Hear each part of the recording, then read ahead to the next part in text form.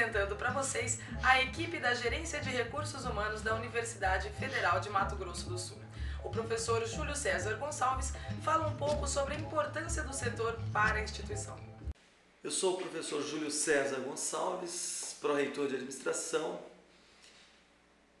pró-reitoria que contempla seis gerências administrativas. Uma das gerências é a Gerência de Recursos Humanos da Universidade Federal do Mato Grosso do Sul.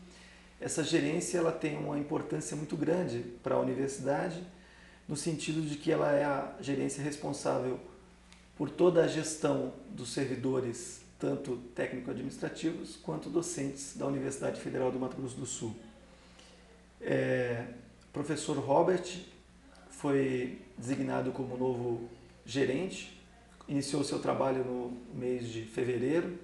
Existe um projeto da Pró-Reitoria que atende os anseios da nossa reitora, a professora Célia Maria da Silva Oliveira, que procura buscar é, uma valorização dessa gerência. Existe um projeto que está em fase de tramitação dentro da universidade de transformar a gerência num primeiro, nos primeiros dois anos da administração numa superintendência né, e após é, esse primeiro passo é, inicial transformar ela né, até o final do, da gestão da, da reitora numa pró-reitoria de gestão de pessoas.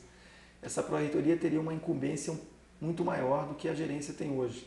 Ela teria a incumbência de fazer a seleção tanto dos técnico-administrativos quanto dos docentes que adentram a Universidade Federal do Mato Grosso do Sul através dos concursos públicos, todo o trabalho de capacitação, qualificação, né, melhoria das condições de trabalho, é, medicina do trabalho, avaliações médicas dos servidores, né, tudo isso que a gerência hoje já faz de de maneira até relativamente precária, seria feito com mais qualidade.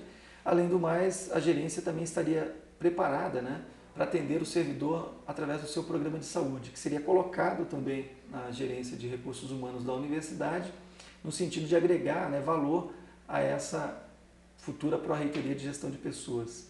Existe um projeto que é desenvolvido já pelo professor Robert, que vai iniciar já no ano de 2009, que é o projeto de capacitação né, e qualificação. Hoje nós recebemos recursos é, do MEC com essa rúbrica no sentido de capacitarmos e qualificarmos né, todos os servidores da universidade, tanto a nível de ensino médio, quanto ensino superior, quanto a nível de pós-graduação lato e estrito senso.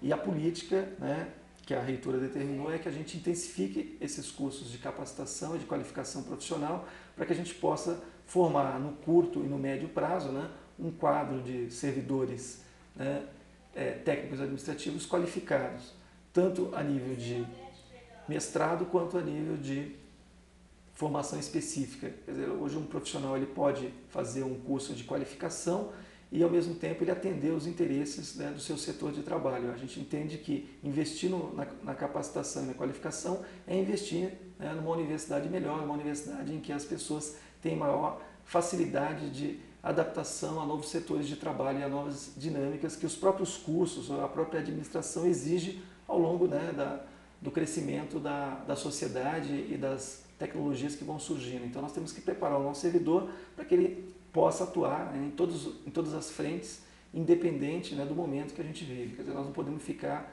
é, refém do falta de recursos, porque não tem recursos, nós não podemos capacitar. Eu acho que os recursos a gente corre atrás. A universidade tem corrido atrás, nós conseguimos esses recursos, que, que não são poucos, são em torno de 500 mil reais, para investir na capacitação dos servidores da universidade. Então é nesse sentido que esse primeiro ano, 2009, nós estamos trabalhando né, maciçamente na capacitação e na qualificação do quadro de servidores da universidade.